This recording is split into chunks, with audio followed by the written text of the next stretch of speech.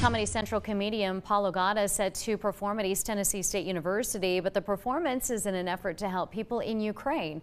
The university announced uh, money raised from the comedy show will go to a nonprofit called Restore Ukraine. They say the goal is to ship containers with humanitarian supplies to the country. The benefit show is scheduled for next Saturday, September 9th at 9 o'clock at the DP Culp Student Center.